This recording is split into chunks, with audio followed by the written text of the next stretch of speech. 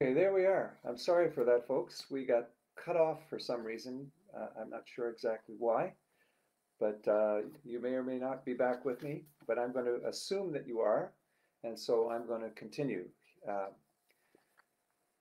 with our affirmation of faith, a new creed, and I invite you to say it along with me today. We are not alone. We live in God's world. We believe in God who has created and is creating, who has come in Jesus, the Word made flesh, to reconcile and make new, who works in us and others by the Spirit. We trust in God. We are called to be the church, to celebrate God's presence, to live with respect in creation, to love and serve others, to seek justice and resist evil, to proclaim Jesus crucified and risen, our judge and our hope. In life, in death, in life beyond death, God is with us. We are not alone. Thanks be to God.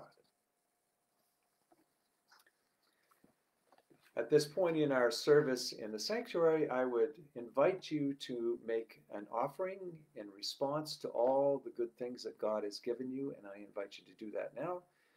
There are many ways you can do that if you're on PAR or if you drop an offering envelope off at the church uh, during the week or in the box. But also, if you go to our website, you can click on donate and it'll give you some other options as well.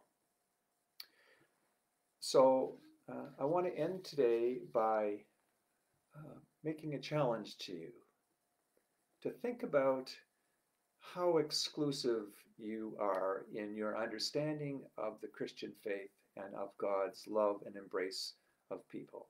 And I invite you to embrace everyone, to embrace all those who are in need, whether they're part of your particular understanding of who you are or not. Draw the circle wide, expand the boundaries, color outside the lines, all these things.